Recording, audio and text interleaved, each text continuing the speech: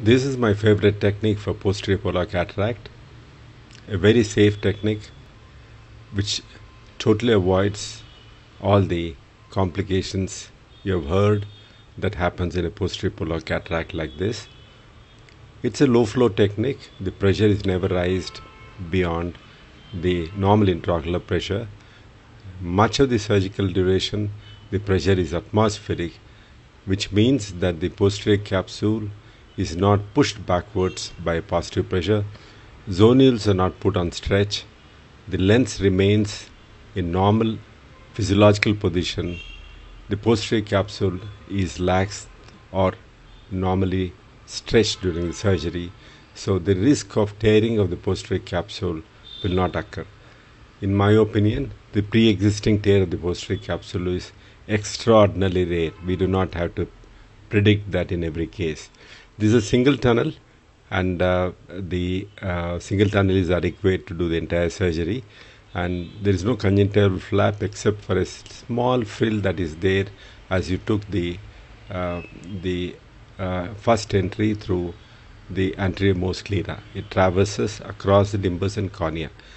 You have to ensure that the anterior end of the tunnel is horizontal, not tagged behind which ensures the SIA of less than 0.5 diopters in this patient.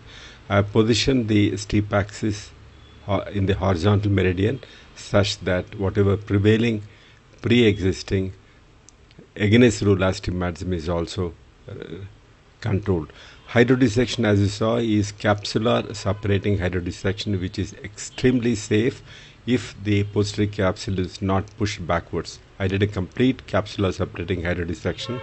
Nucleus is managed by bisection and it's sandwiched out of the eye under the protection of continuous visco uh, infusion into the anterior chamber. The endothelium is never rubbed with the moving nucleus. Cortical aspiration is done again using the Simcoe cannula and the main port, single port, and the posterior capsule is not ballooned backwards which ensures that a, a, focal pressure is not put on the central thin posterior capsule. I have never broken posterior capsule by this te technique. I must have done thousands of these surgeries. The IOL can be implanted and centered to the visual axis very comfortably. You can commit to implant any lens. This is a multifocal, beautiful lens. You can commit to implant any lens in a posterior subcapsular cataract or a posterior polar cataract and give excellent results to the patients. This is a very good technique, very quick procedure, and uh, you have to aspirate the entire visco from behind the lens in the capsular bag, and I specifically clean the angle region so that postoperative spike of pressure doesn't occur. The IOL is centered to the Purkinje image moxifloxacillin is injected into the capsular bag by depressing the lens and then the pressure is raised by infusing BSS into the eye and the pressure is never above the normal intraocular pressure as checked by depression at the limbus. There is no need to hydrate this tunnel as the collagen has not been disfigured during the surgery and this, this tunnel never leaks uh, during the post-operative period. The eye is kept open and the post-operative medications are started immediately.